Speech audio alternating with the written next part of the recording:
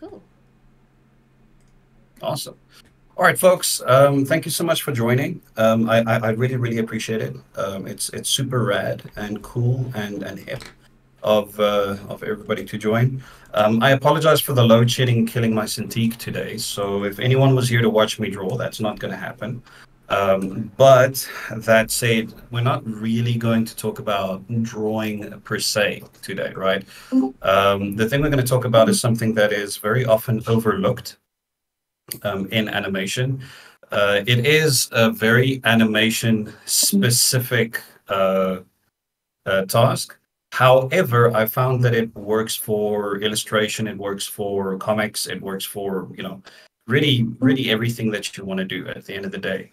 Um, and uh, the uh, the thing in mention in, in question today is, is what's known as layout work booking. Um, so it's uh it's not something you're gonna see a lot uh, nowadays in, in in our like digital animation realm. It's not something um, I've had a lot of uh, experiencing in industry, whether I was boarding at Floyd or whether I was um, doing layouts at Mind's Eye.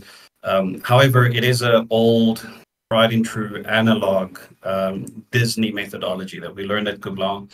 And uh, we used to teach at SCAD as well. And it and it does make a bit of a difference in how you plan stuff. So in terms of uh, the the execution or, or, what it is, it's actually very, very simple. And if you look at it, you might go, why do this? Why why waste my time spending so much um, effort doing this weird step between storyboarding and, and layout? Um, but the fact of the matter is, um, once once you get into the habit of doing this, you sometimes, if you do it right for your like lower tier, easier shots, it actually um, prevents or uh, makes superfluous uh, the layout steps in um, like your lower tier shots, especially if they have legacy materials like uh, pre-used backgrounds or not specifically um, new character designs or anything like that in your series. So uh, yeah, before we get started with with with layout workbooks, though, I think we'll do we'll have a chat about layout proper. Um, maybe next week or the week thereafter. Uh, for today, we're going to start with the first thing, all right, which is which is layout workbooking. Um, just a quick question: How many guys of you know what layout is, um, or what do you understand layout to be? Anyone get a give it a stab? Um, it's it's like a blueprint kind of. It's like uh, it's like having a bunch of static poses and stuff that you place around a scene, something like that. Then you manipulate them to kind of tell a rough of what's supposed to happen in the scene or something. Okay, yeah, cool. So you're not wrong. Um, that's uh, that's basically character layout. So um, a, a, way to look at character layout is in between storyboarding and animation. Before you actually give an animator the animation he needs to make, there's actually a very, very large amount of information that the animator needs to have regarding the character before they can just animate. You can have, you know, like the most talented team on earth with the most talented group of people, and they'll all draw a little bit off model and if the pose that they're drawing in the animation is not a pose in the model sheet, and I give this pose to six different people, they're going to interpret that pose six different ways. And five out of the six are probably going to draw the character off model or make some sort of mistake, right? Because they're using their own imagination to fill in the blanks instead of using a model sheet, right? So character layout's job is to take a look at what the storyboard presents and then take a look at what the model sheet and the character designs are, and then to pose the character um, in in in the in the layout on model, right? And uh, this this has you know like different tiers, different tranches, and every studio will will will do this slightly differently, of course. But that is essentially the gist of it. Whether you're working in cutout, whether you're working in traditional animation. Now, at the same time, however, that's the character layout. you also have what's known as environmental background layout. So the background layout is actually the more intricate, more important one. And what it basically comes down to is it is the blueprint diagrammatical uh, illustration of what goes into a shot, right? Um, how many layers of my multiplane camera am I using? How many characters will there be? And, and essentially what are overlays and what are underlays? Um, and I'll get to overlays and underlays in a bit. And then if there are effects, the layout artist will illustrate and demonstrate what the effects will be and where they will be placed. And if there are props, it is also the layout artist's job to demonstrate these are the props, this is where they go, right? So um, essentially, the way you can look at layout then as a whole, right, is it is a mini directorial package the layout artist is the director of the shot, right? Whereas the the storyboard artist can can can be seen as the director of the scene or the sequence, depending on the vernacular you use. If you're working at Floyd County, you'll be using uh, live action vernacular. If you're working in other places, you might be using storyboard vernacular. But uh, the the storyboard artist will dictate what happens in the in the scene right and the layout artist is going to dictate how to compile and composite the shot now sometimes you're going to have character layout only and sometimes you're going to have environment layout only so at floyd county for example the layout was mostly character when we were working on on um, archer and uh, at mind's eye when we were working on Duende, the layout art was mostly um, for background art, right? Because there wasn't time to do character layout on top. Although I do actually think Ryan and everyone did start using character layout later on. I wish I could show you guys my uh, Duende layouts. Um, unfortunately, they're still under NDA, so that's not really something I can discuss. Um, but I can show you guys some older materials from my from my show. So before we do that, let me share my screen, and we're going to take a look at why why this is so freaking important, right? Like why are we um, why are we concerned with layout? And I'm going to use you know like a very very good example here uh, from you know like the OG of of, of environment layout, which is uh, Akira. If you guys haven't seen Akira, I'm going to be honest. I think the story is a little mid.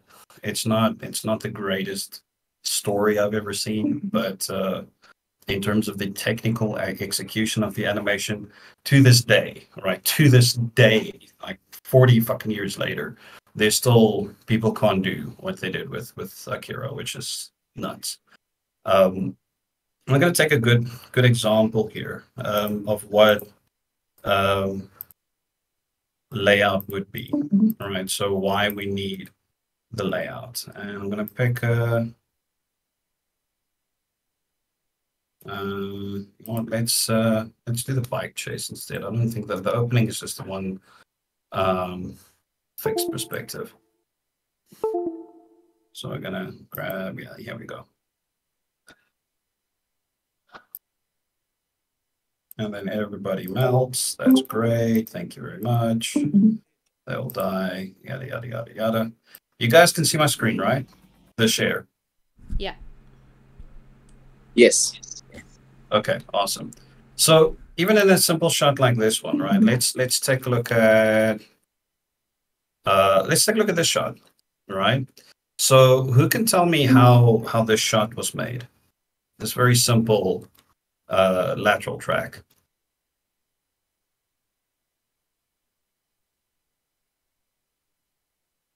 So this shot is actually two different backgrounds, right? Um,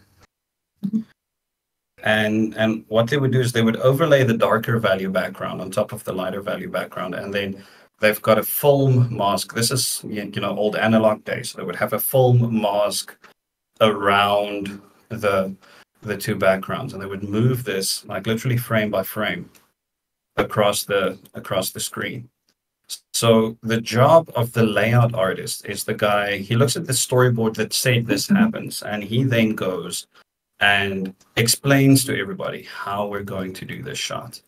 Right. Uh, another simple one would be this one over here, where we see the characters um, round a corner. Right, they're actually coming out of the alleyway and then riding. So how did they plan this shot, right? Because if you're just going to paint a background, right? Bet you guys didn't think of this. If you're just going to paint a background in in analog, right? Are you going to um, animate from this cropped area here? Because if you don't, right, uh, the, the the bikes can't be seen, uh, or or just going to overlap on top of what we have. Um, how do you know where where to to place what to make sure that it feels like it's moving out of the alleyway? So the the layout artist is the guy that plans. Okay, so this is the shot, and I've got a background, but then I have my animation on a layer overlaid on top of my background. However, I also have this building over here as a layer overlaid on top of my characters so that when they're animating and moving past it, right, they're just moving. It, it, it gives you the illusion of them moving behind um, behind this building. So the layout artist's job essentially is to know where do I cut the overlay, right? Where exactly do I? And it's it's it's really right about here, like this this area here, just this spot here, is overlaid on top of these two in, in the traditional analog sense, right? And they then plot out to know that the, the the special effects animation of the lights and the motorcycles, you'll notice, never move in this area over here where the building is. They they move here at the bottom down. So there's actually, you know, with the characters with the with the head, head lights right on top of all of this is a cutout, analog cutout of this area in the in the in the building first. It's the layout artist's job to know where this gets cut and where should what be overlaid. Now, to complicate matters even further, the three motorcycles are also overlaid on top of one another, with Kaneda being at the top, uh, this guy at the bottom, and then this motorcycle over here, again, never overlapping over this guy. So he's actually underneath him and then you can see they're actually animated. Um, they didn't animate it; they they added that shadow. Now, what's interesting as well is when you actually look at it frame by frame, suddenly the the illusion of the movement, right? It, it's dispelled, and it actually feels very floaty, which which goes to show how much uh, magic there is actually in um, in animation. Just note for a moment that they even changed the direction of the shadow of this bike as he's as he's moving here. Never mind the light trails. Um, so what you're looking at over here with just this character is I've got an animated shadow um, overlaid on top of my background, and then I've got my motorcycle and guy overlaid on top of that, and then I have my effects, my light effect overlaid on top of that. So it's one, two, three layers with just this guy, right? Now let's multiply that by three because we've got this dude over here. So one, two, three overlays here, one, two, three overlays here, one, two, three overlays here, and then finally this building overlaid on top of it. So this very simple looking scene, right? Even with the technical animation, which is masterfully done, the layout in this very simple shot is exceptionally complicated and hard to plot out, especially if you're working in analog and uh, if you're going to try this in digital, you'll also know it's it's it's really um, many times actually the digital work makes it um, even harder. So you're looking at ten layers of work that gets put into the shot. Now the storyboard artist isn't the guy that would figure this out. The storyboard artist just thumb sucks an idea and comes up with it. All right. And the animator doesn't give a shit because he's busy animating. And the background artist isn't going to know either because the background artist is just going to go off with the diagram that the layout artist goes. So if you don't have the role of layout in your sequence, um, you set yourself up for disaster, for like very, very serious, very serious mistakes. And that in a simple shot like this one. Oh, we actually have more underlays because I forgot about the the the dust trails over here, right? So that is essentially the job of the layout artist is to to plot out all of all of these movements, all of these things. Now, if you if you take an even more complicated sequence, um, like this one over here, uh, which seems so simple, right? But it's it's probably one of my favorite traditionally animated sequences because it is so incredibly complex. Mm-hmm. Um, I've got a very far background underlay of the of the road. Overlaid on top of that, I have this guy and a bunch of other characters. Um, overlaid on top of that, I have the reverse animation of these two guys made opaque or transparent to emulate the reflection of glass.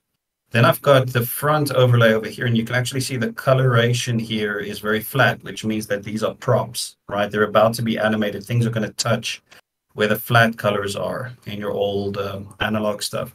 So where these guys are sitting, then overlaid on top of them is this table and we know that this bike is going to come crashing down. So overlaid on top of that are these three props that are to be animated. And overlaid on top of that is this guy over here. Right. So it's an immensely dense shot to make, um, even when you're doing it in analog. Honestly, if you're going to do this shot digitally, uh, most PCs would not make it. Uh, if you're going to do a shot this complex in Harmony with this this many rigs and these many characters, uh, chances are Harmony can actually not handle a shot like this.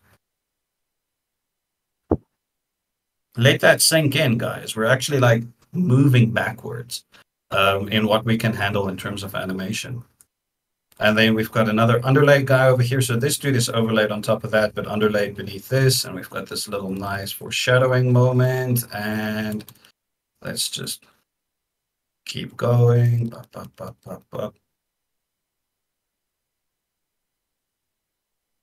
This guy runs away. And again, the moment you actually look at it in terms of layout, frame by frame, suddenly a lot of that magic kind of disappears, right? Um, and it feels a little floaty. Just again shows the strength of actual animation. And here comes the the motorcycle crashing through. Now, the moment this happens, my arrangement changes because these shards of glass that are animated, right? They're animated hopefully on one layer if they're smart.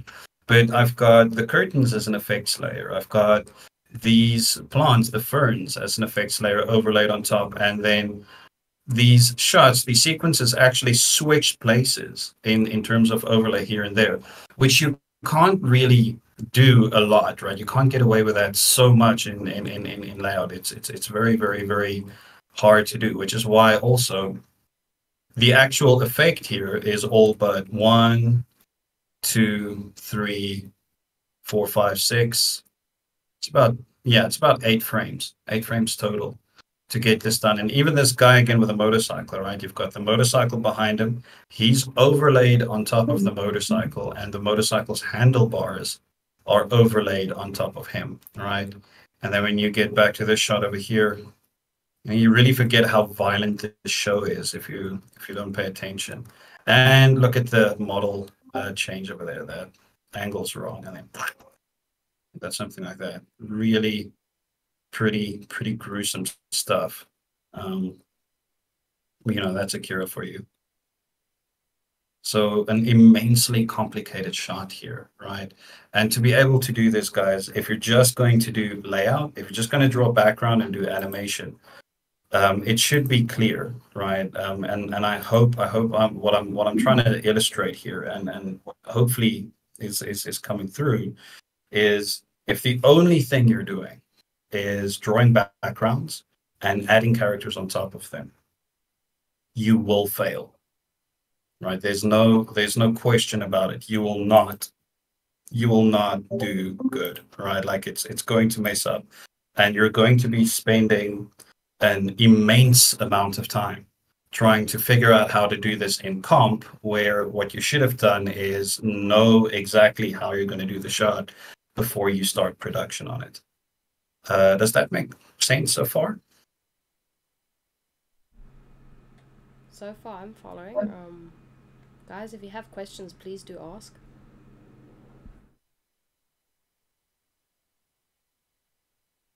That makes sense. Makes sense. Awesome. Awesome. Okay, cool. I well, moving on. And again, yes. Um, so when you're drawing the layout, so you will separate the different layers. So like the foreground, middle ground, and background in the actual like line drawing before you get to background painting. Uh, well, actually, no. Before you do that, you're going to make a layout workbook to know where goes what. So that's exactly what a what a layout workbook is, right? So that's what we're going to be talking about. If you're just going to, and also the vernacular is very, very important because if you're just going to think about it in terms of foreground, midground, and background, it's not going to work, right? Because, like I just mentioned, showed there, there's perhaps 20 layers in that multiplane camera, right? Like let that sink in. There's easily 20 layers of work stacked on top of one another in that one sequence.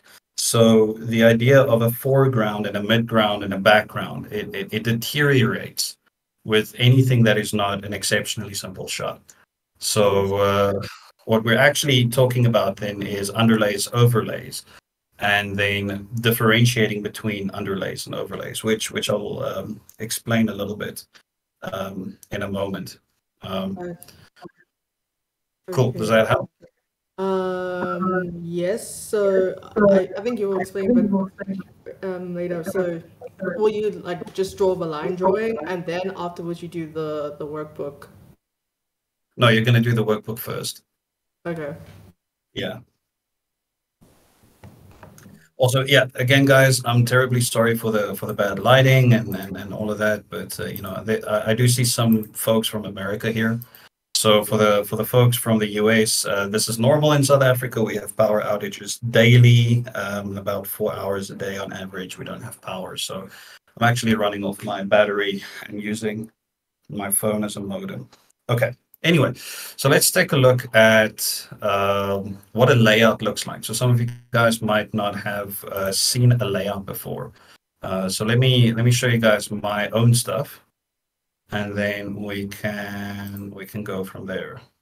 Why will you not? I just want my screen open. Come on, there we go. Uh, let's go. All right, can you guys see me sharing my screen? Yes. Awesome. Okay. Um, so some examples over here. Um, I'm gonna pick a, a, a relatively okay one a sim- simple mm-hmm. enough one. So mm-hmm. let me show you the actual shot first, and then I'll show you what the layout for it looked like. So that shot, let's take a look at the shot again. It's a very quick shot, but this one was super complicated to do. So the dog grabs the rifle and throws it in the air, and the camera whip pans down again. Whoop and down, and then we see the guy running, right?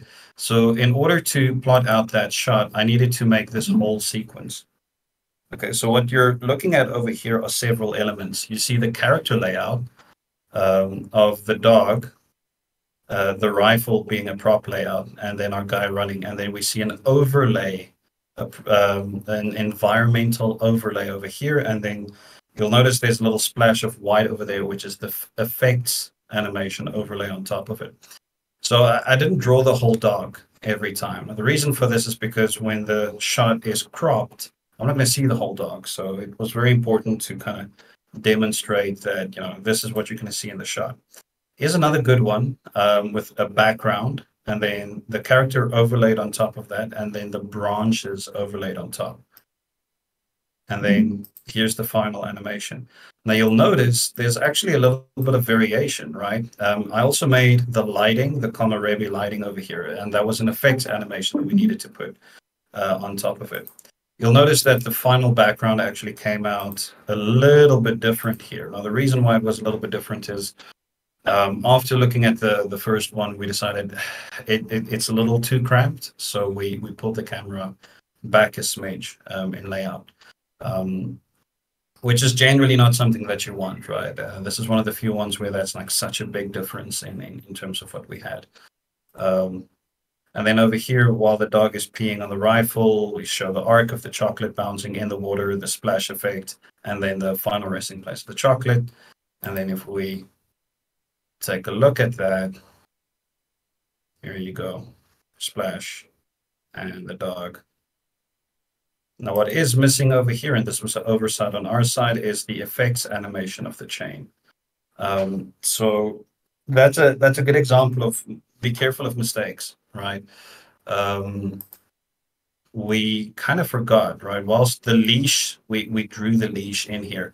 When we animated, we actually kind of forgot about the leash. Um, and then about three weeks before deadline, um, I, I, I kind of took it upon myself to to animate everybody's leashes for them, which was actually a lot of fun. I learned, you know, like very interesting things about how to animate a chain, which is pretty pretty cool.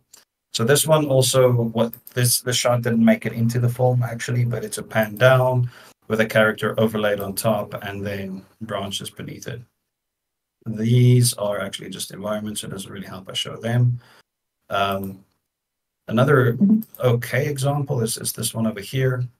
Uh, where this one mostly has boards. It does not have character layout in it, but uh, this was an environmental design one. And you'll see here we've got one, two, three, four environment overlays, plus then the character being overlaid and underlaid um, here and there, right? Like overlaid it first and then underlaid and then finally set, settling over here. So this is a, a, very complicated shot. I think it took me about a week to build to build this environment out.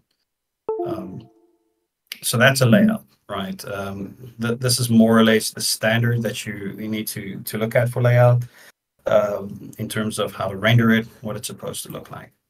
Um, cool. Any questions so far?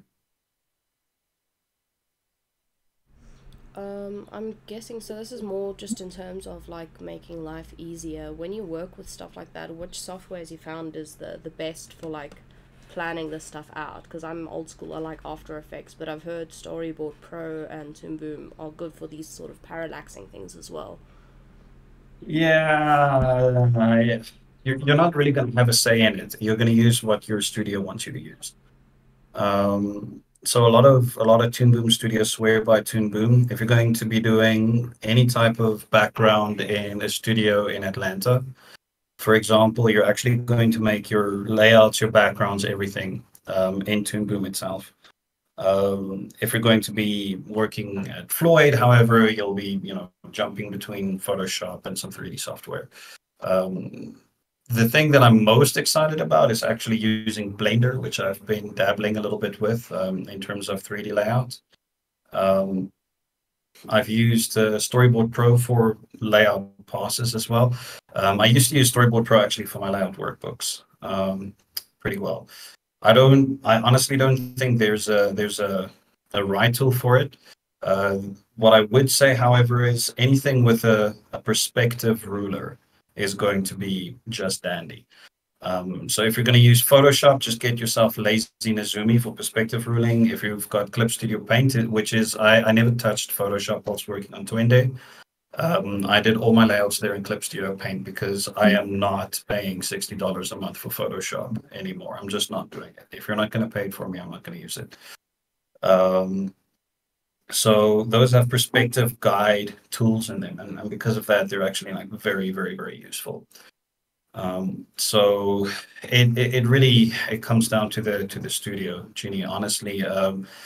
And again, what that means is get good at getting good, not get good at a, at a, at a software package. It's it's not going to uh, give you what you want if you just like solely rely on a on a on a software package itself. Um, I have a question. So yeah. when you take the story, so when you take the story storyboard, you examine the work, you analyze the the shot, and then when you start to make the workbook, you see, okay, like these are the overlays and underlays that I have to to separate. So then when you start drawing, you'll draw those overlays and underlays on a separate layer. Um, for exactly. when they're needed. Yeah. Okay, yes. Cool. Very um, that that's very close to what you'll be doing. Yeah. Okay, and then do you give that to the animator, or do they just get the line drawing? Just uh. No, no. So, so I'll I'll explain I'll, I'll explain that in a in a moment, uh, like what the general task for that would be. But no, you're not going to give the the workbook to the animator. Um, actually, you're probably not going to give the workbook to anyone. Um, it's something that's going to stay um, in the layout department. Um, and it might be something the director touches, and it might be something that the Um, uh, maybe a background artist or two might touch, but uh, it's not something that your animation team itself is is going to have, right? Um, pipeline wise, I would I would kind of compare whilst it's not um, whilst it's not kind of the same. Um, if you take a look at animation, the first step is always to shoot reference, right? That should always be your first step. Um, however, with uh, layout workbook, the analog to that would be your first step is a workbook. Um, it's not something that you'll likely give to anyone outside of your layout team. Um, although, you know, you might give it to the background guys. Okay, but then how do the compositors know? Do they to to separate the layers or that background artists? Because I mean, they'll look at it, but the workbook is supposed to help them know when to separate when they're painting. Yes, it, it is going to help them, but what the compositor will likely be using would be your actual layout, right? You can probably give them the layout workbook. It's not going to like hurt um, to give them that. Not not one bit, of course, right? Um, but uh, generally speaking, you know, it's it's a step for layout. Um, so I, I, will show what I mean by each of these things, right, in a in a moment. I just gotta um, run through the, the the process, essentially. Okay, cool. Thank you. Awesome. Anyone else? Um, yeah, uh, just to get a general understanding. So with uh, when you're working, um, when you're working with uh, layout, so as as a as a layout artist, you would have to like name your um parts of your layout correctly so that compositing can be far much easier in in in, in the workflow, right? Yes. So so yeah, so it would it would need you to actually understand when or, or like which part like which part would you use? Like would you number them? Would you um like put letters or will it depend on the on the studio? I'll show you guys how to do that in a moment. Okay. All right. Uh, let me just grab a, a good, you know what, I'm gonna just grab it from here. Um, I mean, this is out already, so I, I guess there's no there's no harm in uh, in in showing you guys actual work we we actually did. Um, so I'm gonna use an example of my own boards, right? Um, from from Archer. So yay! Uh, you guys get to see what actual storyboards from Archer looks like. Um, I don't know. I saw I saw Mishi here earlier. I don't see her anymore. Mishi actually boarded with me on these sequences. Um, so it's it's a pity she kind of like dipped out of the uh, the the conversation. Yu Ting, I think you remember me. You guys used to study together. Oh, and you actually have a question here. So Yu Ting, let me answer real quick. When you draw the background details, are those the final background designs or are they just more detailed suggestions? So generally speaking, um, they need to be very, very, very precise, right? So your your layout needs to be like 99% what the background painter is going to make. Um, as you could see with the short film, we actually had a little bit more flexibility now, part of the reason why was our background artist was actually a traditional oil painter. I'm going to switch off my camera at this point because I really think I need it. Um, our camera, our, our background artist was a traditional oil painter, and he actually made oil paintings for every, every background. So they had a lot more variation and change in them than than, than regularly. But um, generally, in terms of industry, no, no, no. What you what you make for layout is exactly what the background guys are going to copy. They're going to do it like to the T, right? So your your your layout has to be very very precise. Uh, Blackguard also asks, uh, so should the layout artist uh, plan extensively for how the layers will work? Yes, that is exactly what the what the layout artist is going to do. So, and do they get the opportunity to plan with different ways? Yes, you will get that opportunity, but I mean, obviously, you're going to have a director directing you. Um, again, guys, however, I should stress this it is pipeline dependent, it is studio dependent. Um, you'll probably not do this at, at Floyd County.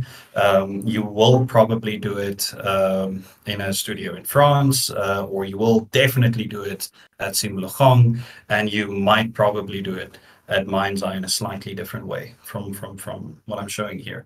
Um, the the idea of talking about workbooking right now specifically is um, to show you guys how to plan, right? How to think about layout in a way that's not going to to mess you up. And actually, hey, Milo's uh, here as well. So Milo Wildcat, you're actually working on Twende, so you you can totally call me out on bullshit here if I'm talking out of my ass because um, you're working on it.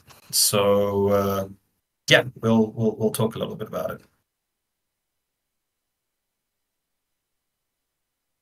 So yeah, Hi. again, like I said, Oh, Sorry, I have a follow up question. Um, yeah. Does that mean that the layout artist is the background designer, or would you work with a background designer to create like the line work for um, the layout? So it's a little bit of a, a, a, a, back and forth, right? So so so like Danielle can show and and, and a taste. What's going to happen is your art director is going to create a bible for you for your episode, right? And tell you this is generally the feel that we want, right? So the layout artist team on on Twende, for example, kind of we kind of did it from the ground up. Um, a lot of the shots that we made and a lot of the things that we worked on, um, we had to devise ourselves. But that's not always the case, right? Because there was a lot of legacy work, a lot of work that went into the pilot episode that we basically reused or just drew from different angles, right? And then sometimes something that I would put in the layout might be completely unusable um, for the background guys, and they might actually do a little bit of creative input um, uh, by themselves. Now, if you're a very, very, very small team, and I'm talking like maybe two people or three people working on a film, the background artist and the layout artist are going to do the same job. Uh, but it's really not what you want to have because it's it's exceptionally time consuming and and generally not a good idea right so it, it is definitely like industry dependent or, or pipeline dependent which studio you want to go for right so um like Milo attest, they they they they did sometimes, you know, like there's a lot of the background art that they would do themselves, um, and other times the layout uh, the, the layout guys would do the the the you know the uh, the blueprint for it. Okay, thank you. And yeah, Danielle, if I'm talking shit, right, please feel free to just say, actually, um, Thinus gave us the absolute worst um, layouts, um, and we hated every moment working with him. Like, that's totally, totally fair to do. Because I do think I gave you guys some some bad ones every now and then.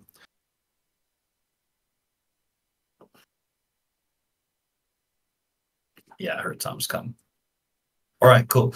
So, uh, where was that? Okay, did I download it? Let's see. No, I didn't download. That's weird. Okay, hold up. Uh, bu- bu- bu- bu- bu- bu- where are my layout samples? There we go. So actually, you'll see here. Uh, okay, a lot of this stuff I can't show you guys. Sorry. So I'll try and be as quick as I can here. Uh, Oh wait, these are layout samples. Yeah, these I can't actually. Um, sorry guys. Uh, sorry, th- that's uh, that's NDA. You didn't see anything. Um, here, let's grab a let's grab a, a good one. So this was a, a, a very very fun sequence that I I, I worked on at uh, at Floyd County doing um, uh, doing Archer. Let's just wait for it to download, finish that. Oof, I hope I have data by the end of the day. We'll see. Okay, cool. So this guy's open. All right, so here's the storyboard, right? Um, from Archer, and and uh, we'll just focus on this sequence here, not this one. This one was very simple. It's a it's a background effects overlay on top, and um, what's her face. So this this shot here is a very good example, right? This one right here. Um, so what you're seeing here is a background, and then you're seeing two characters, and you're seeing effects on top of it, right? Um, when I boarded this, I actually boarded it as though I was a layout artist, and I actually made my underlays um, going forward in, in the shot. So I'm gonna just steal this this frame, Blink. Cool. And we're going to copy this, right? And you guys can still see my screen uh, and, and so on, right? Yeah, can still see a screen. So, and yeah, Ginny, Pam was hands down the most fun to board. Like, I love Pam too much. Um, all right, guys, so what you're looking at here, this is a, standardized format for a layout workbook. Um, so I'll drop this one in the in the chat when we're done today, and you guys can, if you want to use it, you're free to use it. So what you're going to be doing, let's uh, put this sucker in here. Bloop. I'm going to take this and I'm going to put this in here, my little storyboard panel. And then I want to make a copy as well. And the reason why we're making a copy we'll, we'll, we'll show in a moment. Uh, some of the, the boxes here are going to be completely um, redundant for what we're doing, but it really depends on what type of production you're doing. If you're doing a feature, by the time you're doing all of this, you'll already have a value script and a color script in place, um, as long as well as the storyboards before you touch the the, the layouts. Right? Um, we're not going to have that right now, so it's not really um, it's not really that uh, that relevant. So everyone sees this fine, right? It's not too blurry or or, or too difficult uh, to see or, or or so on, right? No, Yeah, it's fine. Everyone's good. All right, cool, cool, cool, nice. So, what the layout ar- artist is going to do from the storyboard is I'm going to look at this critically, and and and what I want to do is ask myself, okay, where, um, where am I going to do what? Um, and and what what is overlaid on top of what. And this is going to require you having to go through the sequence, right? Because if you're not going to go through the whole sequence, you're actually going to miss some stuff, like the fact that I've got smoke effects behind her, but I also have smoke effects in front of her, right? So this shot, whilst relatively easy in layout in terms of the fact that the characters aren't really moving and they're staying in three quarter. Well, Pam is staying in in three quarter, and um, Alicia is staying in semi pro, right? Um, and they never actually change um, their their angles. Now, if you guys remember from last time, we were talking about semi pro, pro, etc. That that's where that comes in, right? Um, so it stays a technically complex shot, but the animation not so much. Okay. However, I've got a few problems here, and I, I, think you can even spot them when you're doing the animation, right? Which is Pam's left leg is behind Alicia here, right? But her right leg is above Alicia. And then her one hand is overlaid on top of and over Alicia's hand. And then um, Alicia's furthest hand is is uh, uh, underlaid beneath that. So we actually have a very complex sequence here. Now, if you're doing this in, in 2D animation, traditional 2D animation, it's not that hard because I'm going to animate these together. But if I'm going to comp, if I'm going to be using uh, rigs or anything a little bit more complicated than that, this becomes a very, very, you know, like difficult um, tangle of uh, of things that I need to keep track of. And if I if I get it wrong, if I make a mistake, you're going to make the mistake exact mistake that I actually made in my boards here, which is in this frame, Alicia's left hand is not overlaid on top of uh, Pam's arm, uh, whereas in this frame it is. Right. Um, and then over here, much the same thing with the sequence. Bup, bup, bup, bup, bup. All right. Uh, this is actually the exact same shot, but you know it's just a little bit cleaner. Um, so what you're going to do is you need to take a look at and count what each of these things are going to be, right? Um, and that that that makes sense so far, right? Yes. All right. Cool. So before we actually build our workbook, let's talk about vernacular. Um, so I'm just going to make a new new layer, well, a new document anyway. And uh, yeah, guys, again, very very sorry. I'm going to be doing this with uh, with my mouse, which is uh, definitely not preferred, but you know, well. So I'm going to draw a little XY graph and this over here. Let's say our background, our actual background, our main background, or a BG main, or whatever you want to call it, is here. It's a building with a window or something like that. Um, any character that is in front of this plane, this building, right? In my multi-plane camera stack. Um, let's say I've got my second plane over here. And in my second plane, I've got a I've got a character, bloop, like this, right? Little. Uh, okay, maybe we should make him not as male as he is right now. Um, there we go. That's better. So this guy is um, overlaid on top of my background, right? So what he would be called would be overlay, mm-hmm. OL for overlay, one. Now, what is he? He is a character. So overlay character. And which character would be the next one? His name. Maybe I could just type this out. Let's see.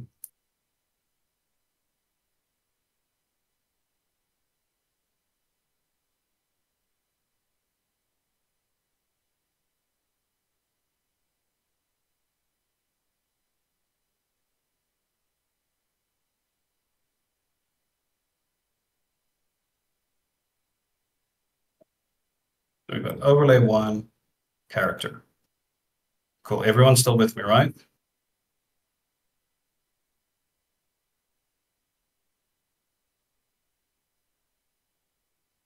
Folks?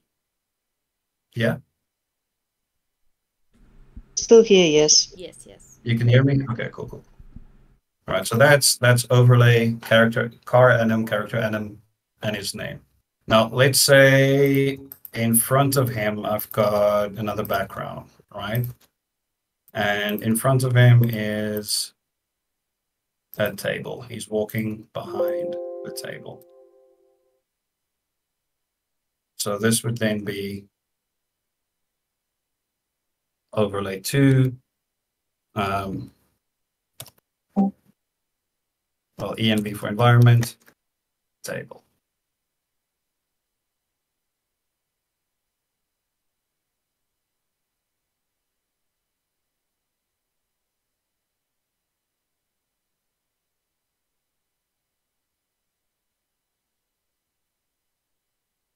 This guy over here is going to be overlay named as an environment and then table. Now, let's say this guy walks around the table and now stands in front. What that means is at some point, I'm going to make a duplicate, right, of this guy.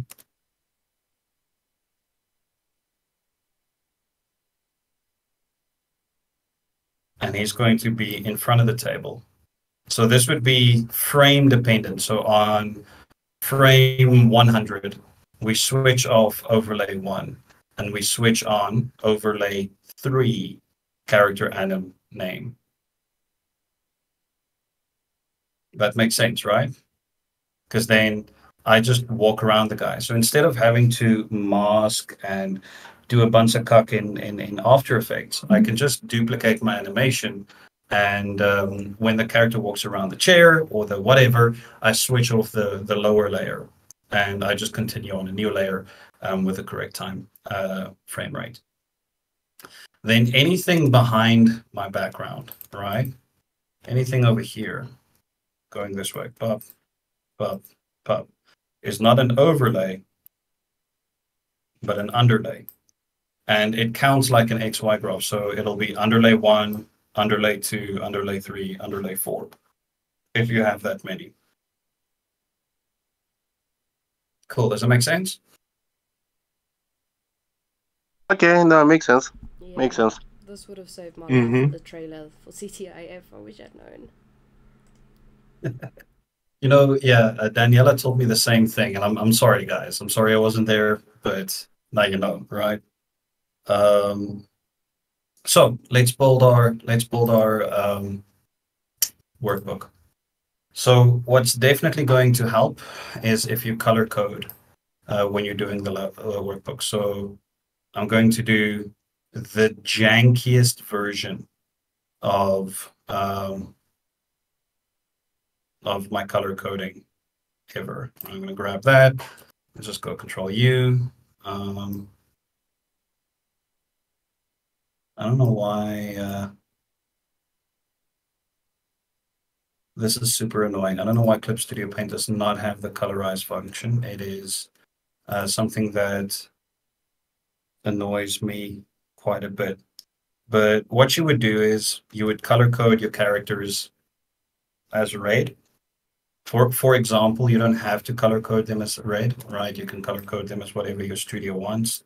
Um, you can take your effects. Again, I apologize for my absolutely dog shit lassoing here with my with my brush. And you can color code them in their own color as well. And the background you can you can keep gray. Right now, if you've got multiple different characters, you can actually color code them as well. Doesn't really matter what you choose, just stay consistent, right? So if your characters are um, going to be yellow, for example, then they always have to be yellow. And then speaking of, let's just make um, let's just make a, a yellow for the prop over here, right? Because he's holding a stake. And um, I do want to just show that as well. All right, cool. So you've now kind of separated the elements for yourself in your in your um, workbook. So let's start uh, talking about our overlays. So the first layer, uh, we'll see if you guys can start. Uh, once you once you get the hang of this, it's actually pretty easy to see what it is that you're looking for, um, and and how to arrange this. But anyway, so uh, first one we're going to say BG main, and we're going to say this was a scrapyard, so scrapyard. And why do I? It's it's it's very very very important that when you're doing this, you actually name these according to the naming convention um, that your studio has and the actual name of that environment design, right? Because then you, the background guys, everyone on AF track, everyone knows what's going on. Okay, so the first overlay on top of this, what do you guys think the, the first overlay is going to be? I'm going to give you guys a guess. Um, I would say whatever's coming closest to the foreground. Um, so probably those blue little effects that's going to come past her. Um, Or is that the opposite way? right the, uh, yeah, that's the that's the other way around. Okay. So it's going to be you're not wrong. It's going to be so overlay one is going to be effects. So overlay one will be effects anim smoke trails or whatever it is that you know the design team are calling those effects, right? I don't know why this thing's being difficult. Uh, oh yeah, it'll help if I do that, right? Um, so that'll be my first overlay. Then the next overlay after that is going to be overlay two, char, uh, char anim, so character anim. And it's going to be Yeah. um, Alicia's hand, right? So Alicia hand left. After that will be overlay. And and as you guys can see, this is actually a very, very, very complex shot. right? Um, after that will be overlay three. Um, I'm not going to keep on saying Karen, but you're you are going to have to, but it would be Pam, uh, left, leg, left, leg, left. And then overlay four will be Alicia, body. And overlay five will be Pam, body. And then overlay six will be Alicia's left hand. Well, actually, first, um, between these 2 i I'll have actually overlay um, for underscore prop and a knife. And then after Pam's body will be Alicia arm. Why, why should type? Yeah, Alicia. So overlay seven.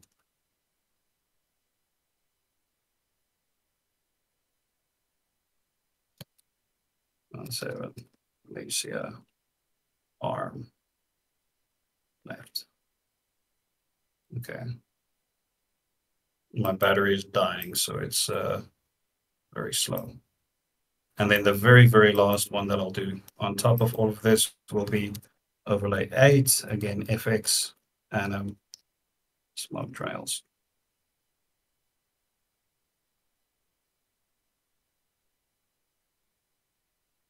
And that is going to be my asset list. So everything that needs to be made is going to be all of this.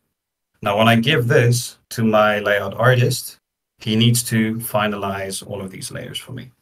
When I give it to my comper, right, the comping artist is literally going to create an After Effects file and name all the layers as such. And he's going to make them the appropriate type of layer. Is it a 3D layer? Is it a, um, you know, a image batch, whatever it is. And really, what's going to happen at that point is um, what the animator exports, right, will be these overlays of the animation. It'll probably be the ink and paint artist that, that, that exports this, not the animator. But this will literally be so once the, the character animation has been inked and painted, if I'm using a traditional pipeline, not like a modern Toon Boom one, but if I'm using a traditional pipeline one, what the comping guys are going to have to do is, you know, like animate, export a version of the leg, export this knife, export her body. And all of these are their own image batches, right? And then all you really have to do once you hit compositing is stack all of these together in After Effects and you should be good to go. Then alongside this, you'll also, of course, have your characters. So the characters here are Pam and Alicia, right? And um, if you're going to be very picky about it, you can say uh, PAM three quarter for the model sheet so that you can have the exact model sheet that you need and PAM, uh, Alicia uh, semi-pro if that's even needed. But that would be something that the the character layout artist would need, right? So that's the the technical planning side of it. Now, um, alongside this, you'll add your C number, your sequence number, your frame count. If you have a color script and a value script, you'll add those. If there's dialogue and sound effects, you'll add this for the dialogue people and the sound effects people to know. And then time of day, location, camera movement, uh, camera nodes. Um, if there are 3D elements, what are the nodes for that? If there's specific animation nodes, over here, I would say keep Pam and Alicia in set position. So three quarter and semi pro only. Um, so that my animator knows not to have like complex twists and stuff um, in the animation. Right, so that's the type of thing the layout, the character layout artist would be responsible of, for saying, or the director for that matter. Um, and then your effects and comp nodes, your 3D element. And, and this is something we added at SCAD. It's just what is the difficulty of this layout? What is the animation difficulty? and 3D difficulty. So there's no three. Okay, actually there is 3D effects in the shot, but um, I'm gonna assume that this was 2D. So the 2D uh, is none. Animation difficulty is about a three and a half out of five. Um, it would be a five out of five if we had different twists and stuff, but because we're sticking to um, three quarter and semi pro positions, we're we're not doing large twists in the body. And then the layout difficulty itself, yes, this is average, right? This is not, it's not a difficult layout. It's going to be difficult to animate. So the layout difficulty itself is about like a three, three and a half out of five. It's not, it's not like a, a, a, a complicated layout per se. So I'm assuming it's important for a director to fully understand all of this, not just slightly. So they, yeah, no, the the director needs to know how to do this, right? So, um, for example, I'm starting directing on a short film, um, well, not a short film, but a pilot episode for a series in a few weeks, right? And for that pilot episode, I'm basically going to be doing all of these workbooks myself. Now, if you're the director or the art director, again, if you worked at Floyd County, you're not going to do what I just showed you, right? But the art directors over there have their own system of how to put these things together, right? It's it's not quite the same thing. They actually use listings and stuff like that. Um, I wish Chris was here. Um, he's my layout buddy from Floyd. He could probably have a chat about that um, some other time, like how they do layout. Um, maybe we'll get him next week or the week after that. So the directors there would have a different approach, right? And uh, we also didn't do this at uh, Mind's Eye, um, although I did ask um, quite a few times that we that we implemented. I think we were just a little uh, crunched for time. But what it would do is um, significantly lower the, the the need to problem solve stuff at the production side of things. By the time you're doing production, the amount of problem solving you're doing should really be um, at the absolute minimal. You should really know what you're, what's up. So if as a director you're not going to be doing a layout workbook like mm-hmm. this one, which is very close to what Disney used to use as this type of layout workbook, then at least have a different process as well. Um, it's it's it's super important to be able to to plan this ahead. If you don't know how to put a shot together, that shot will fail. Um, I, I, I promise you that. Or you're going to spend hours and hours and hours in comp trying to figure out how this works. And you don't want that. Don't waste your fucking time in comp, right? Trying to put things together. Waste your time here. Do this. Um, then the amount of things that you see might be wrong over here are actually minimal. And it's changes that a comping artist can make on their own. And then if they want to do effects on top of it and add a little bit of extra spice like a shadow or a rim lighting or whatever it is that they want to do, then they can do that um, without having to worry about all the cuck that they're trying to clean up from the animator and the background artist.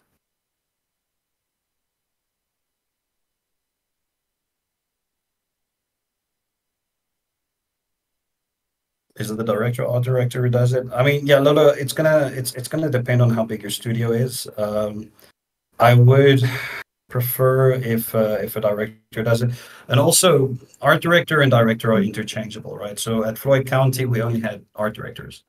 Um, there's not a director per se. You've got three art directors, and each of them supervise what you're doing. Um, it's actually not that common in, in series to have like a director for a show. You're usually going to have two guys and they're actually art directors, especially if you're going to be doing outsourced animation, right? Then who's the director? It doesn't, the, the, the, the thing doesn't actually make, uh, make a lot of sense. So it's going to, again, that's going to totally depend on the size of your studio, um, how many people are doing this. If you're in a South African setup where you're actually very few people, like maybe four or five people, then yeah, the director is going to be doing this because the director is probably also the art director.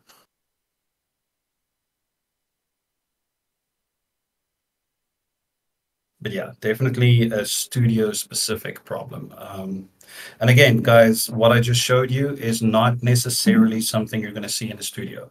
Um, It's a way of doing it. It is a very useful way. It's a very analog, traditional way of doing it, the way Disney would have done it or, or DreamWorks would have done it back in their 2D days. Um, but I find it's still, honestly, in my opinion, it's still the the absolute best way to do it because with a workbook like this, you help you hold everybody kind of um, everyone's clued in on what everyone else is doing and you can clearly very clearly if you're the animator you can see okay i need to do like four or five overlays here. So i will once i am done with my tie down and my tie down needs to go to my ink and paint guys my ink and paint team aren't going to just ink the animation right? They're going to ink the underlay on its own layer and they're going to paint for that layer and then they're going to ink the next layer on top of that on its own layer um, and they're only going to know to do that if they've been told beforehand um, with uh, with something like a good layout. So the next step after this, right, this workbook, is to make the actual layout. So this thing, right? The next step after this is going to make um, is going to be to make a to make a layout. Let's let's grab one that's uh, I don't know why my dog's layouts aren't showing. That's that's super annoying. Um, well, I mean, these are actually backgrounds. These are not. This is a background I made, um, not a not a layout. I'll just go back to these. The next step is then the detailed, actual, pretty nice layout like this one that you'll be making. And then this layout plus the workbook is which I would advise you give to, you know, like some of the guys. It's not, you don't have to give the workbook to the animator, right? Because the animator can take a look at this layout and see, okay, I know what, what, what I need to do. But I do think the workbook is useful. Um, you'll give this um, layout to the animator to work with. But more than anything, this is for you, the layout artist, to plot and understand what you want to do and also, before you make the layout, you're going to present this to whoever is your senior so that they can, you know, check on your work and make sure that the work is actually good and doing what it's supposed to do in a in a in a comp sequence.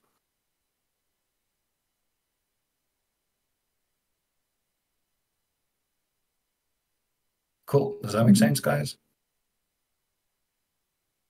Yeah. I think actually looking at this even as an animator still learning out, it might even be valuable just to do a workbook to sort of plan your layers for when you actually animate as well. Because like even now, oh, I'm sitting here animating a shot with a character with her legs crossed and her foot bopping, and I'm like, where that knee then overlays to, you know, behind the leg is now also causing all sorts of nonsense. So, yeah, would have been good to plan. So yeah, that's that's how deep character layout goes. Then, right? It's not just about posing the character, but knowing exactly what the mechanics are for that character and where which element goes. Now, of course, if you've got a rig, right, a lot of this changes. Um, and the way you're going to handle these things is going to be node based more than you know like the traditional analog way of doing it but i'm a traditional animator i, I do frame by frame and that's what we teach at simulacon anyway so i'm coming from that background more than a than a than a rig one um, that said, though, I mean, rigs have their problems when it comes to stuff like this, and and to know which which lum overlays on top of which is is something that you know you can very very quickly break a rig by shuffling your nodes around um, if you're not careful. So this kind of thing does help for that as well.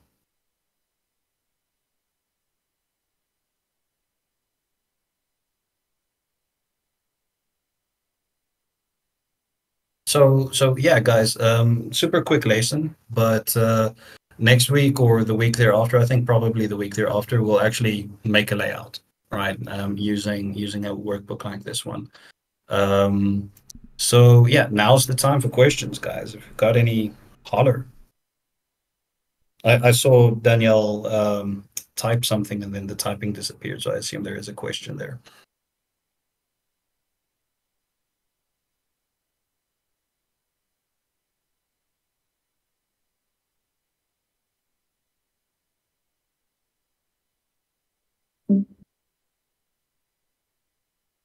Ah, come on, guys. I see two people. Yeah, there we go. Now I'm starting to see questions. Yes, I want more questions. I was going to ask if you'd covered the older question. Oh, I don't know. Maybe which which older one? Um, Black Card's one or Lola's one?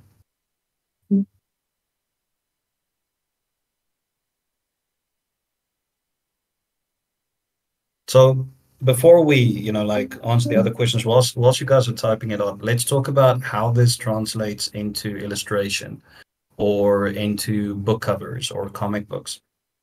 Um, if you're going to be doing a painting, a digital painting, right? You can you can for sure just you know like free flow paint and see what you come up with, but I don't think that's a good idea. And I think, generally speaking, um, studies are super useful, and like you know, little mini paintings before you do a final painting are are really, really, really um, uh, important. But this kind of planning before you even start doing your studies is going to be super, super useful for you to know which elements should I paint where, and what what value do I give each of these in terms of color, etc. So you can tweak it a little bit for paintings, but uh, um, you know essentially how you would paint, plan a painting with a workbook is the same as how you would do it for for uh, animation.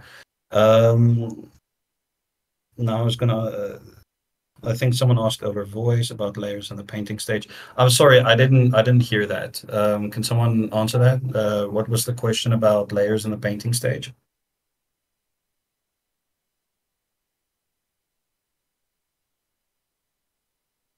Uh, Ray Ray, this is actually going to work for 3D, right? Um, it's probably not going to be the most useful thing uh, once you do previs for 3D, but planning out your shots at the very least before you even start your your your 3D is going to require some sort of you know like planning like this. So something that happens a lot with 3D that people mistake is they think because you've got a 3D environment, you can just put your camera in that 3D environment and it's going to look perfect every time, no matter where you put your camera.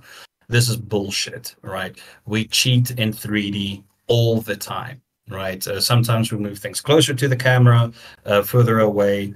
Uh, ultimately, how you frame things are more important. So, what a workbook would do, for example, in an interior shot where you want some sort of overlay of a table, you know, doing or a rack focus uh, kind of shot in 3D, what the workbook is going to tell you is this is exactly how we want it to look. So then when you're doing your previs, you know how to shuffle and cheat that perspective uh, uh, once you've got the workbook. Um, instead of, you know, meandering around in 3D trying to make it work. Um, Lola asks, would you do all the workbooks before production once the entire storyboard is done? Yes. Um, this is this is pre.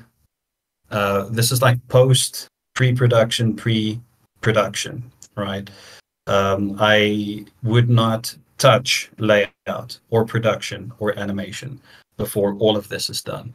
I do not want to sit and uh, fuss around and wonder about how I'm producing something when you hit production, you need to know what you're doing. You can't, you know, you're obviously going to make mistakes. You're obviously going to try and like problem solve stuff, but you don't want to problem solve like 30% of a shot every time you've got a new shot. You want to problem solve 5% of a shot every time you've got a new shot. So this is absolutely something I would do before I start production. The other side of it is let's say the shot doesn't work you need to go back fix it or something like that is wrong then the quickest way to try and explain to everybody how to fix it is not going to necessarily be make a whole new layout. You can just draw a workbook to explain no this is what i want right? Um, and that's going to be easier to do than you know like doing the whole freaking layout workbook all over again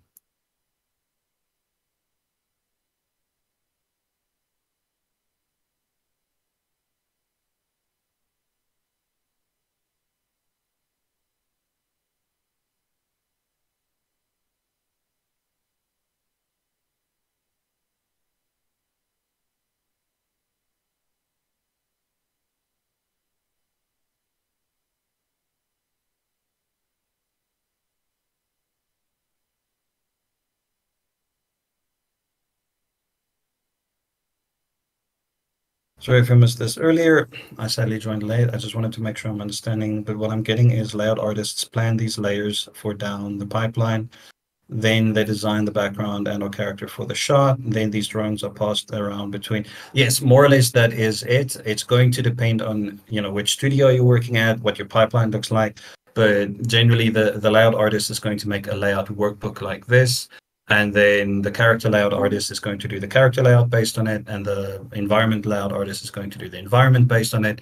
And those things then get handed to the animator and the background artist and then the ink and paint artist as well as the comping guy and they all use use these three this like trifecta of character layout background layout and the layout workbook together to make sure that they're um, they're all hitting the right notes yeah so yeah you're you're exactly right that's what you do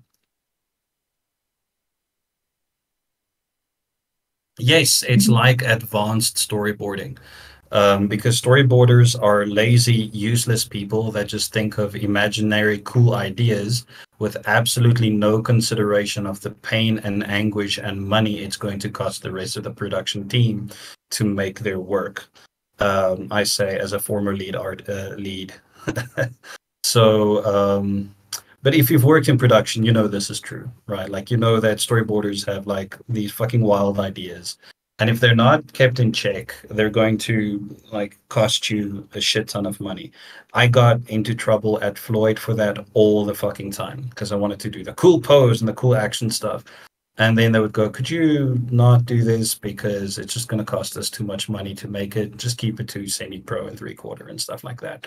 So the type of workarounds we actually had in boards was to make boards like the one I just showed you, where the action looks cool, the shot looks cool, but there's actually a minimal amount of animation. Or when there's a lot of animation, then everything else is minimal.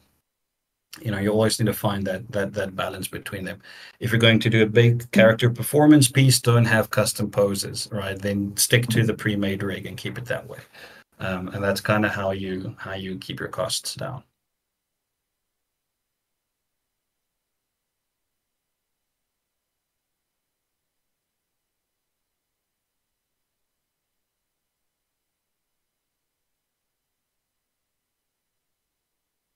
So yeah, we're just waiting for some more uh, tippy tappy tappy questions over you guys. So excuse the uh, awkward silence on my part. I'm just uh, doing the the question answer bit now. I mean, people can also use their voices. Yeah, I mean, guys, please, you can you just talk. That yeah. Do you have any useful shader tutorials to blend 3D backgrounds with 2D, or can using AI references help with that process? I'm not a 3D guy, so 3D shaders and node view stuff is really not my field of expertise. Um, but there is some really nice stuff on on on YouTube uh, with uh, 3D um, toon shader stuff that, that I know. So you know, just doing a, a browse over there will help, but it's definitely not my field. So I'm not going to like uh, give uh, suggestions on that. Sorry, um, uh, that I can't help much there. As for AI, um, yeah, look, AI has its place. Um, it's got some useful things. I'll do my whole um, AI uh, rant some other day. Um, but suffice it to say, everybody kind of like bitching over the fact that AI is stealing work from ArtStation. That lawsuit is really just going to ensure that the only people who can use AI are giant corporations like Disney, who already have like you know libraries and libraries of work with which to train an AI from, and then the little guy can't use it because we all sued ourselves, literally sued ourselves out of the ability to use it. Um, now that said, however, um, it's uh, astounding for now, at least. AI is actually astoundingly useless for the uh, 2D animation pipeline. There's basically nothing you can actually use it for. It can make nice pictures, it can like make nice color, but that's it. There's there's very very little other functionality behind DALL-E and and uh, Midjourney and stable diffusion right now for the animation pipeline. It's it's not nearly as useful for animation as as, as it would. I mean, even for for the painters, and I I mean I think Ben can probably chime in on this. Um, I know it looks nice, but it's actually fucking useless. It just doesn't do for you what you think it does. Um, you, you need to give so many control parameters for AI to give you a sort of mediocre result and then still edit it so much that you could have just painted it. Um, how long that's going to stay the case for AI, I don't know. Like fucking nobody does. But um, it's it's not the, the the the the great tool that people think it is.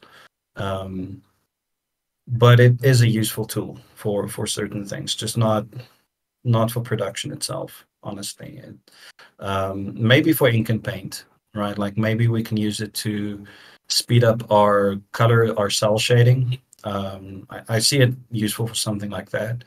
But uh, other than that, yeah, no, I don't know. It's not. It's not really that that useful.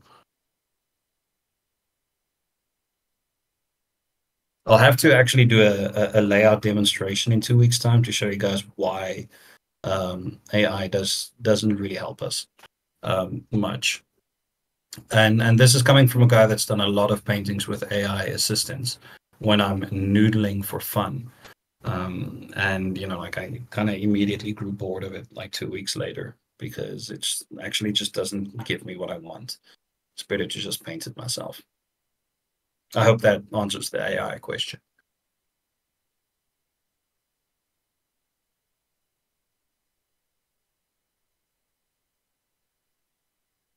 I know going over rigs versus traditional uh, would you consider traditional animation more flexible for layout than rig models?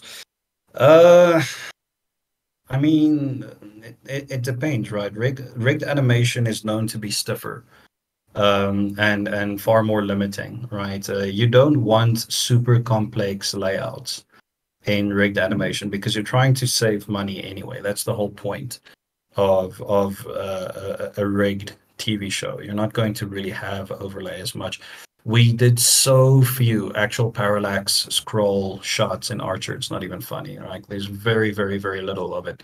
Um, and you know, like when we when we got lucky, we got to use a rack focus. Like ooh, rack focus is nice and cinematic, but actual parallax scroll stuff on rigged animation is is, is very rare to begin with.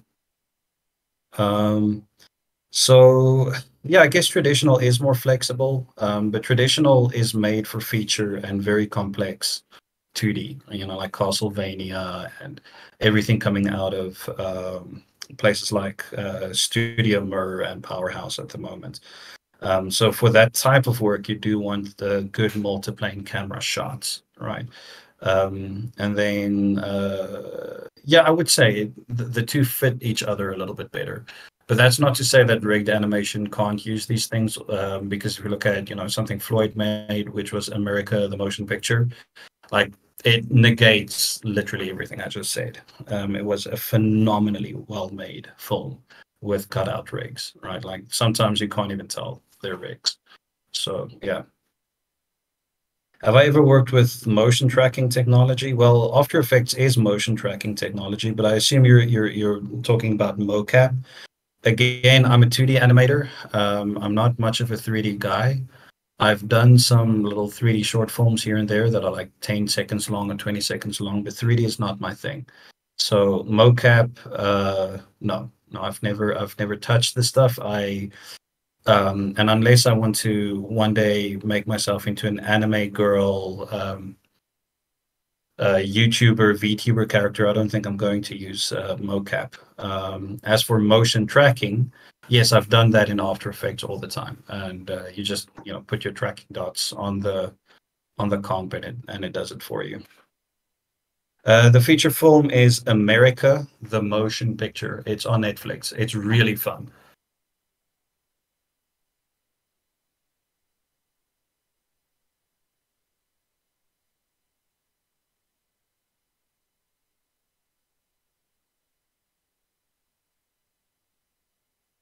Buddy, Ben, ja, dit, dit is goed om van jou af te hoor man. Ons ons uh, chat weer later.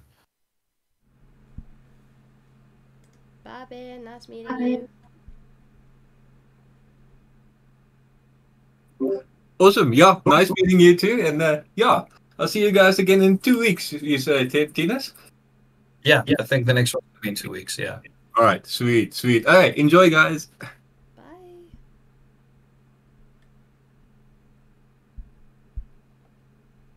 I love I love the Tom Hanks thing. It's it's beautiful. It works so well. Thanks.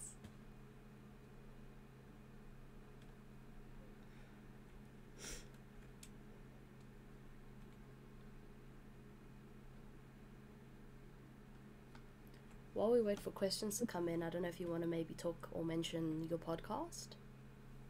Oh yeah, sure. Um, yeah, thanks for letting me shamelessly plug my podcast. Um, so, so guys, um, some of you might know Lesejo Foster. Um, so Lesejo is a, a very close friend of Ginny and myself, and, and and we've known each other for, you know, donkey years. And like three, four years ago, we um, we started a podcast in France called "In In Pursuit of Appeal." Now we're trying to within the next like two months or so, we're going to try and uh, uh, revamp it. I think we we managed three episodes last time before uh, the reality of Kuplan's work workload kind of like um, made itself uh, uh, the problem. Well, not a problem, but made itself known. Um, so within the next month or so, we hope to have uh, a new uh, a new reboot of our old animation podcast. Uh, in the meantime, if you guys want to listen to the the the previous three podcasts we've made, they're right over here. And the folks we're actually talking with are, you know, by now, this was like three, four, five years ago. Yeah, this was five years ago. The folks we talked with now are like award-winning directors today. Well, I mean, the is actually one of those directors. He direct he's directing stuff for Disney, right? Like he's just fucking slaying at this point, just kicking ass. I'm so exceptionally proud of him. Um, he's really, really doing good. But I mean, we've got people like Soham uh, Sakraboti, Varun Nair, um, Isabella Litke, um, Juliana. Um, really, really exceptionally good animators, um, all of whom studied with us at Kuplan. And if you want to listen to their thoughts and ideas and, and stuff, uh, I, I do recommend you guys have a listen. So um, hopefully within the next month, once I I've bought myself a Focusrite preamp and and some other stuff uh, for the podcast, we uh, we're gonna we're gonna um, jump start it back up again. if I may go off of that, um, because it's going to be interesting to see what like uh, topics get covered. Just a reminder to all people on the stream, uh, especially from SADC side, if you want to see events.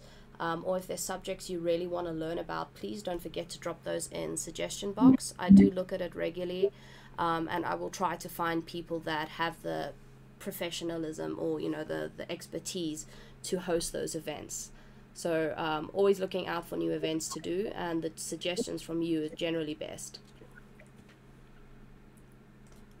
Uh, Shannon, as for the notes, no notes particularly, but you guys can find the template PDF for the workbook in the chat. So if you guys want that, you can just download it. And I have recorded the session. Uh, Thinus, I don't know if you want it on your YouTube channel or if it can go on the SADC library. We'll chat about that afterwards. Um, but there is a recording available. For now, and then- Yeah, and then we can we can call this the the load shedding spatial, right? um, so I've got like ten percent of my battery left, guys. So I'm just gonna keep on talking till the battery dies. So if you guys have any other questions, right, just just ask away.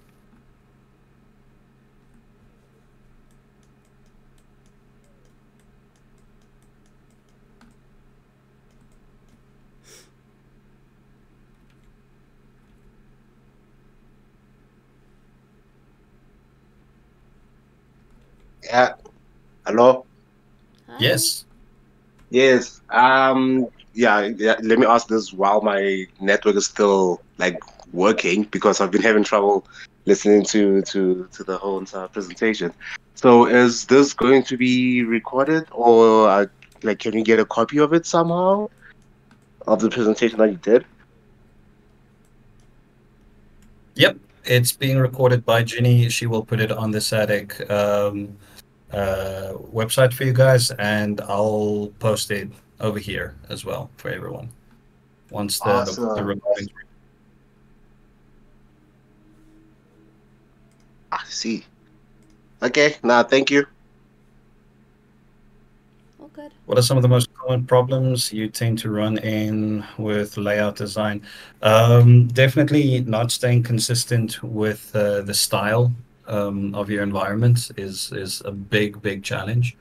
Um, and perspective is the other one, right? Um, I like to brag and think of myself as someone who knows perspective, but uh, even if you are very very very very good at perspective, that doesn't actually mean that you're making good perspective for the shot that's needed, right? The shot and the art direction in the shot is more important than your empirical understanding of of uh, perspective. Uh, not that empirical understanding is actually a thing, but um, so using perspective artistically and then also using this with your set shape language and art direction tend to be the big big challenges it gets a little bit more overly complicated once you've got 3D elements, like if the characters are in a car um, and the car turns around or something like that, then the shot becomes an absolute living nightmare. Um, which is why people, you know, like tend to avoid showing characters inside cars whilst the car's driving or rounding a corner or something like that, because then you need to twist the character around on the bike as he's riding. Now, there's there's um, you know plenty of cases where this happens in animation, but then you save that for the special shot where it's needed. Um, you don't try and do every single shot like that, right? Uh, you you really the, the the point of layout is to um, lessen the amount of work that's actually going to get put into a shot um, as much as possible, uh, whilst still making it look um, artsy and, and cool.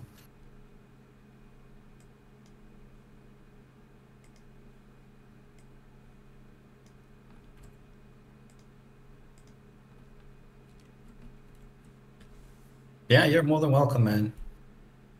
It's a pleasure. I love I love uh, talking about this stuff because layout layout's probably the thing I'm the most passionate about because no one ever listens about it or cares. And Ginny, you know this because you're a layout artist as well. It's it's such an overlooked um, area in specifically the South African pipeline. It's just not something we we really care about, and uh, it's pretty pretty frustrating um, trying to explain to people that you're you're putting all your effort in the back end um, during your comping phase, where you could have done all of that work early on. I think even more frustrating and troubling is that none of this really gets taught in mainstream, like um, what do you call it, schools and stuff. Yeah, it's it's annoying. I mean, we we try as much as we can. the The issue is it's kind of like I, I find workbooks are a lot like exposure sheets, where um, I keep on telling everybody workbooks, workbooks, workbooks, and a lot of people just ignore it and think it's not necessary. Much like a lot of TV Paint or Toon Boom animators, right? Just don't give a shit about exposure sheets anymore. They think that I don't need to know an exposure sheet.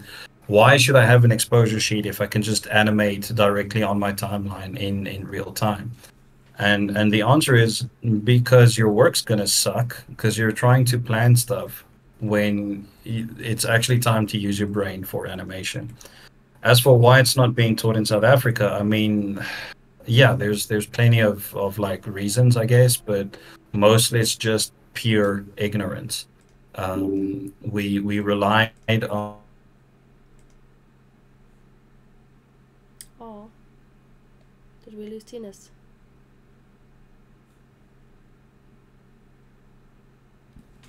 He's still alive, but Oh, I think he might have battery. run out of battery.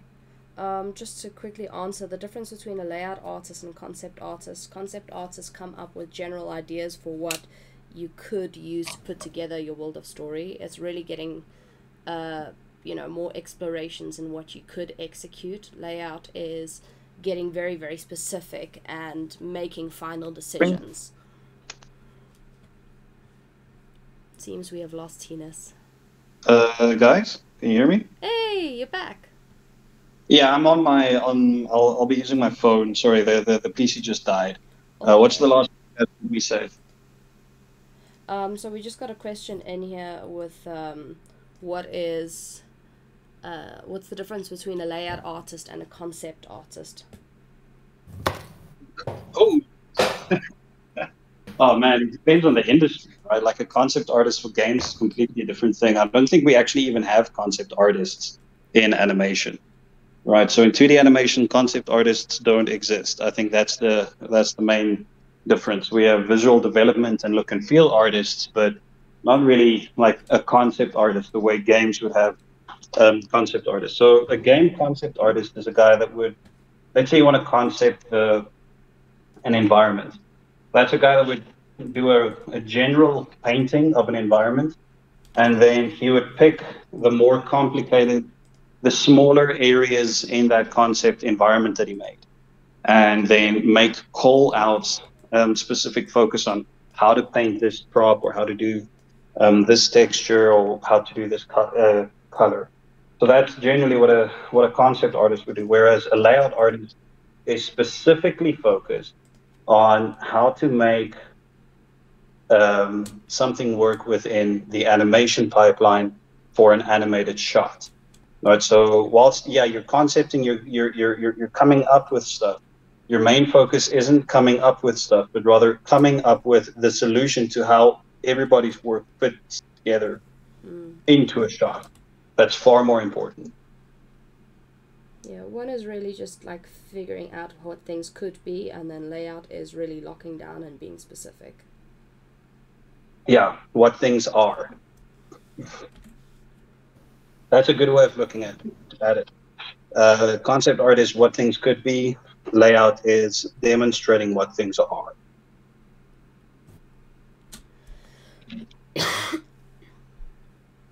How is paint and color considered in layouts? Is that left up to the ink and paint team, or do the layout artists consider this and set up uh, ahead of time? Well, I'd say if you've got a lot of money, um, you might have the color script and the color keys before you start the layout.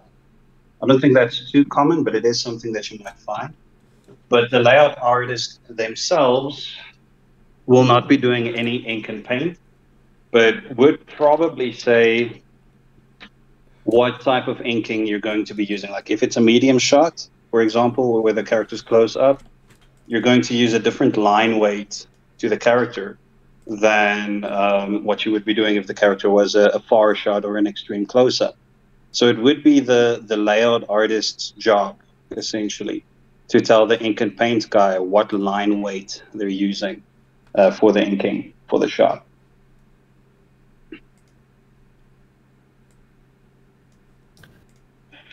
Yeah, this was super helpful and really informative, Tina. Thank you.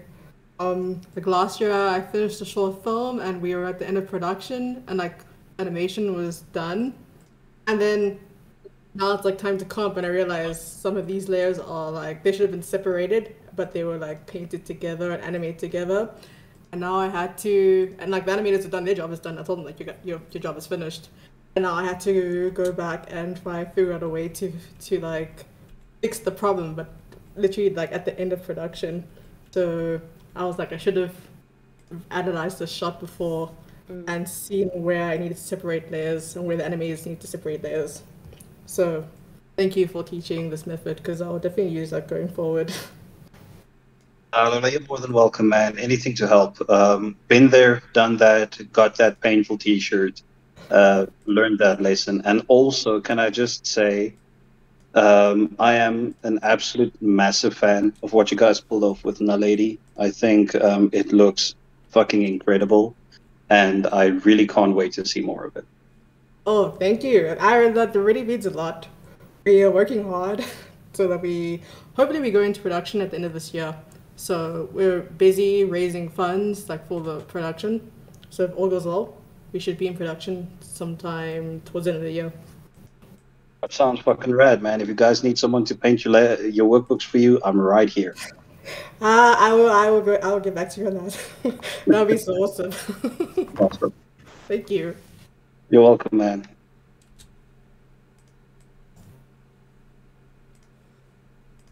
Okay, guys, if we don't have any more questions, um, then we could probably like you know wrap up. Again, don't forget to leave suggestions for things you'd like to learn in future. Um, keep your eye out for the podcast, and there will be more events to come.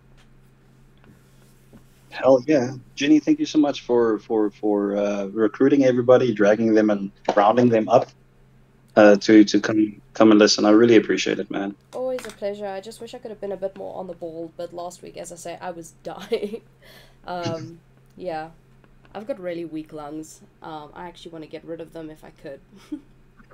Yes, get robot lungs. yeah, Come aside. take robot breaths. Awesome. I I'm just glad you're okay, man. It's good to know you're feeling better. Yeah, no, I was um slightly concerned back there because like it was at the point where I couldn't inhale anymore. Like I'd cough so hard I couldn't actually breathe in. Um, Oh, that's rough. Not a pleasant feeling.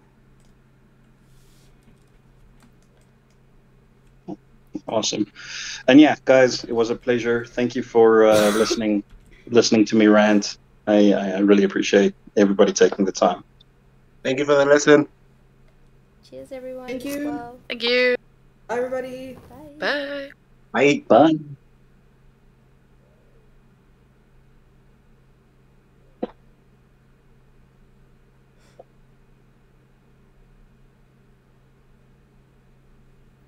So, Thinus about this heist. Yes. You will let me know when the time comes.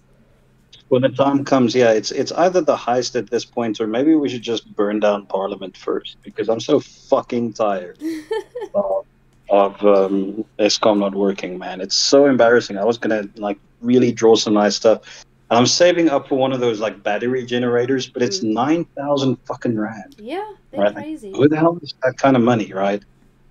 That was what I found like even more infuriating when we had like one of the State of Nations addresses, or it was someone from Eskom. I can't even remember at this point. There's so much of these nonsense meetings.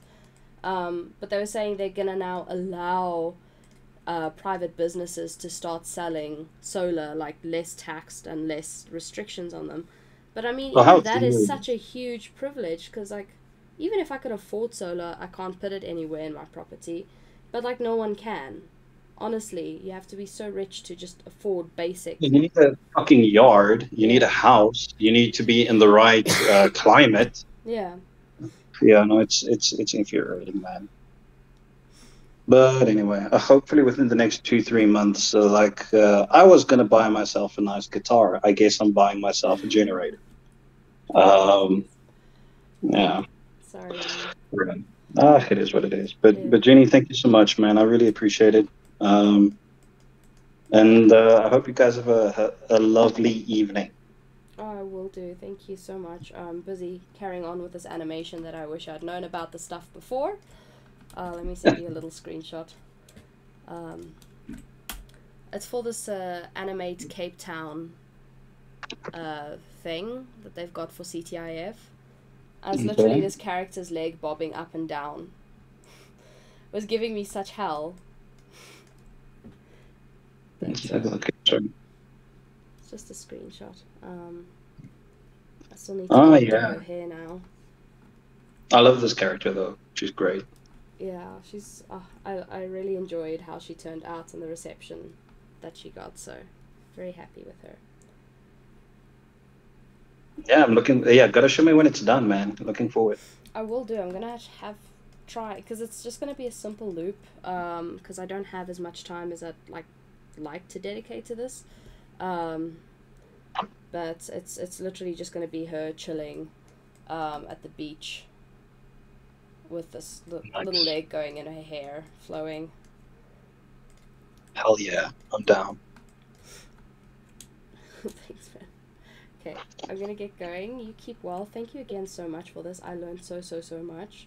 Um, It's a pleasure, man. Thank you for for joining. Yeah, always. I love these kind of things. This is best better